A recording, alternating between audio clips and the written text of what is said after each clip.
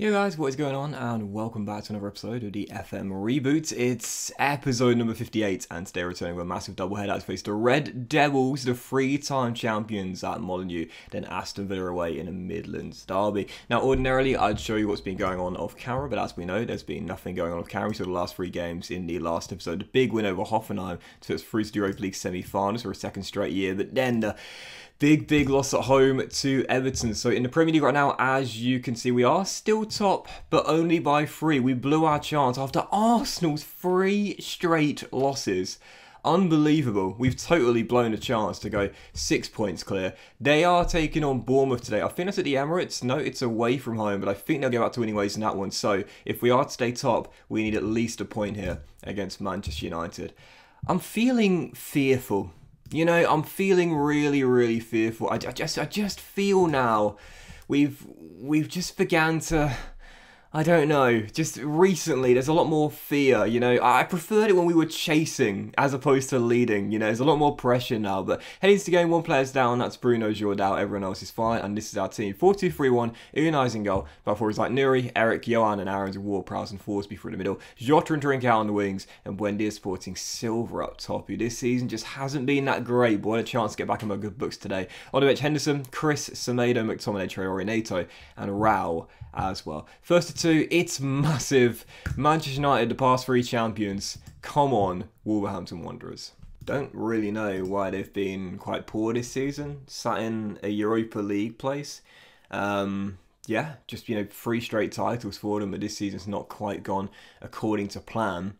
But for us, again, I, I wasn't targeting this at the start of the season, so you know, I'm not going to be gutted if we do fail to win the title. Cow. Oh, had his shot saved by De Gea. Just seemed to go in slow motion across the line there before Pepe puts behind for a corner. I won't be too disappointed if we don't win the title. Just the top four was always going to be good enough for me. But even so, now we're in this position. It's Dendoncker.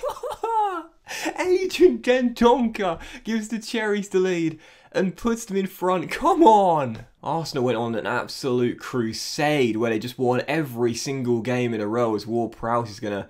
What's happened there? Well, that was a weird free kick routine, but De Gea makes the save. Not sure what Jota and Ward-Prowse were doing there. But now, I mean, you can't watch Arsenal lose four straight games in a row and not capitalise on that. Come on, Wolves. Jota on the ball, beats his man, hits the post, and Jimenez scrambles it away. Four minutes in, brilliant start, but yet to find a back of the net. I know that one of those four losses that Arsenal had in this run has been inflicted by us, but the point still stands cannot miss these chances. And right on cue, that's exactly what Fabio Silva does. It's just been that sort of season for our star striker. Just hasn't been consistent. He wants a new contract. I don't give a fuck. He's not getting one. Simple as that. Simple as that. I'm I'm standing firm in this. He can ask to leave, he can ask for a new deal, but mate, you got three years left on your deal, plus a one year extension as well. What right do you have to a new contract when you're on that sort of money? None. Maybe if you were scoring like 30 to 40 goals a season like Jimenez did a few years ago, maybe I'd consider it. But in this form, absolutely not. Bournemouth are still leading. We're still tied. So at the moment, we're going four points clear. And I think, despite the dominance, I think I'd probably take it. We've been a better team here. Keep doing what you've been doing and we'll be fine. No need to change anything at the moment because we're playing well, just haven't taken the opportunities. How many times have I said that? And Martinelli has levelled things for the Gunners directly after the restart. And Bournemouth are back in front and now it's 2-2. Gee, I can't watch this anymore. Come on, Wolves. Come on. Absolutely dominated all game long. Only lost at Molineux one time all season long, and that was in the last episode against Everton. Aarons down the right. Yes! Come on! Does he get a new contract? Nope, still standing firm. Silva takes the chance, Wolves in front. That's a brilliant ball across the ground by Max Aarons, by the way. And this season he has been so good, mainly on the offensive end. And what a signing he's been from Norwich as a long-term successor to Semedo. So as things stand, if results stay the same as they are, we're going five points clear. There's 18 minutes to go. I can't take this. Oh, Bournemouth are in front! Bournemouth are in front! Right, um, right, uh, Neto on for Trincao. Ward-Prowse has a little knock, so I'm going to take him off for McTominay. I think I'll change he and Forsby's roles around, but make Forsby a box-to-box, -box, a real high-energy midfield duo, and I think I'll leave it for now. Eight minutes to go. We, we've dominated all game long. It's no less than we deserve. And as things stand, we're going six points clear. But you know something that constantly happens in this save and my Fulham one? It's just a common component of FM21 for me. Martial tackled, and away goes Neto. And he's tackled himself. Come on, it's surely going to be ours now. Surely in a game we've dominated, we're not going to throw away in the final minute of normal time, are we? Surely not. Not again. Martial trying to get round Aarons going all the way. And way fires it well off target. And that has got to do it. I'm not going to make my third sub. I'm going to leave it. And Wolves are six points clear. Wolves are six points clear and Arsenal have lost four straight. Finally, finally, finally, after all the years, things are going in our favour. Persistence pays off. I can't believe Arsenal lost four straight in the league. I can't get over that. When you look at what they'd been doing for all of this run, from the 7th of December on to the 8th of March, they'd won every game but two, and tricky ties against West Ham and Leicester. But now, four straight defeats. FM really do be like that sometimes. They have an easier run in than us. Yes, they got a North London derby, but then Derby Leeds away, uh, Crystal Palace and Watford away right now, bottom of the table. I would say their running is simpler than ours but even so, we've we've gone several clear. We've cut the goal difference record now, just a goal scored.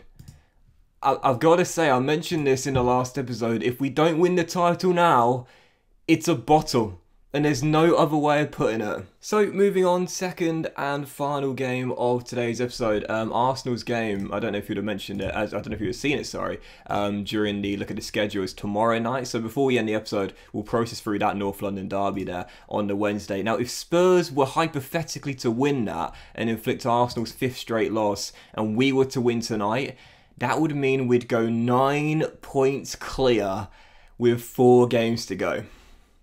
Now, that's a big if, but it is a possibility. So, heading into the game, this is going to be our team. Couple of change on the back of the win on the weekend, with this one falling on Wednesday nights. In fact, I'm going to make one last minute alteration as well, as I just, I, I don't know what you guys are the same as me, but now this has changed from a percentage to the hearts and the fill of the hearts.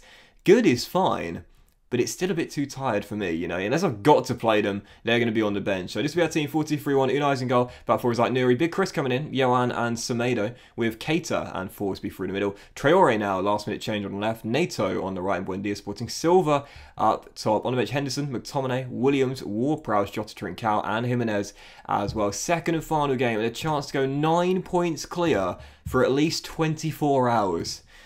Oh, come on, Wolves.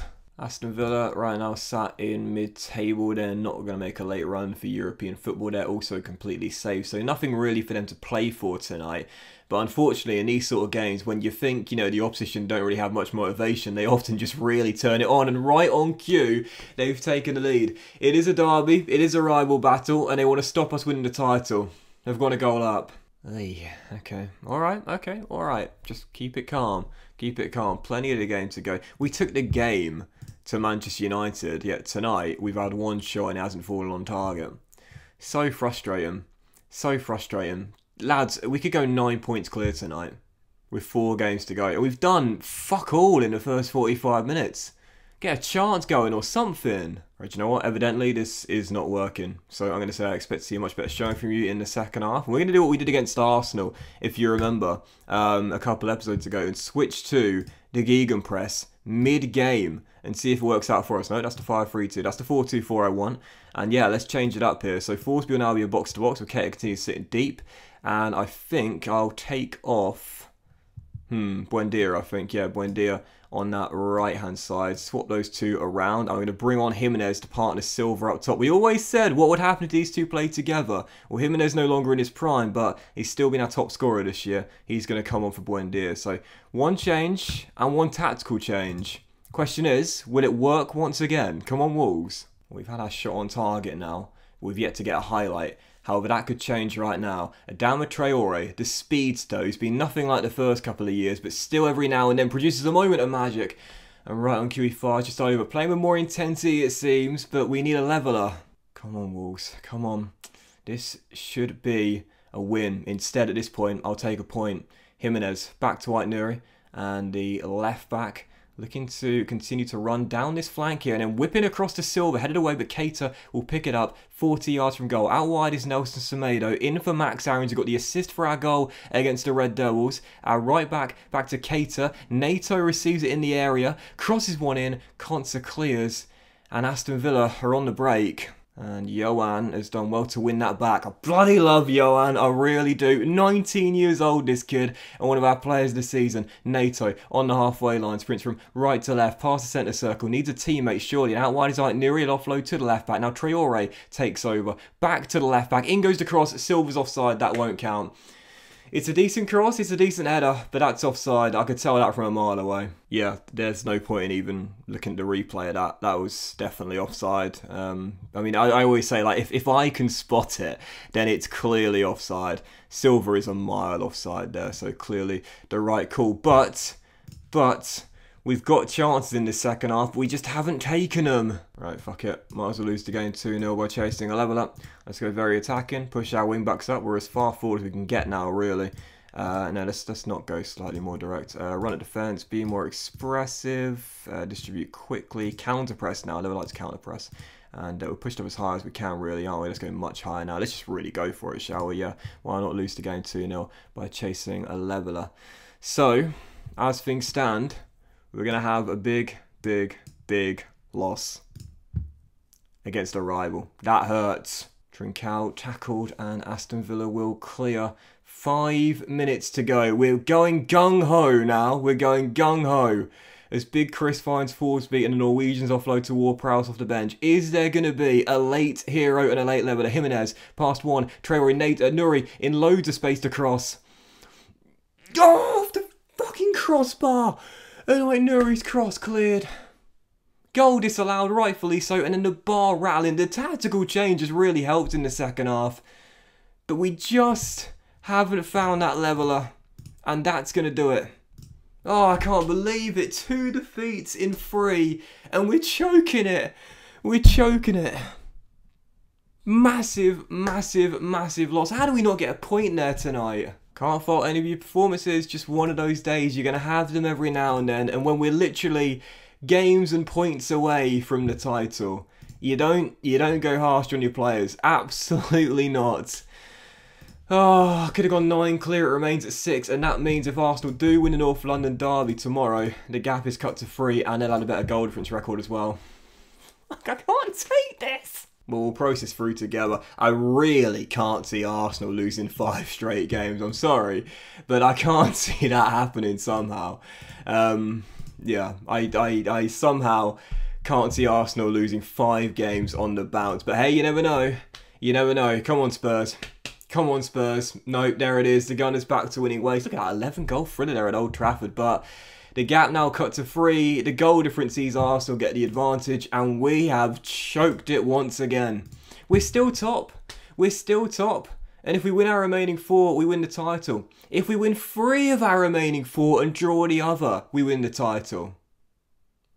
But it still seems like we're here right now. I don't like this pressure. I don't like it. Okay, but hey, we're top. Calm it down. We're still there for now. But that went in today's episode of the FM reboot, guys. Big thank you for watching. Hope you've enjoyed it. If you have, then please do drop a like. Much love to you. Have a fantastic day. I can't, I can't miss a game, guys. I really can't. This is ludicrous, man. This is ludicrous. Another Midlands derby. West Brom away. Will it be deja vu like on Tuesday night, or will we bounce back and stay top and end the first leg? Borussia Mönchengladbach away in the Europa League semi-finals in Germany. This is absolutely mental, and I can't take this pressure. I am just sweating like crazy. But have a great day, guys. Thanks for watching. Much love to you, all, and I'll see you for the next episode of the FM reboot. It just gets more and more dramatic very soon.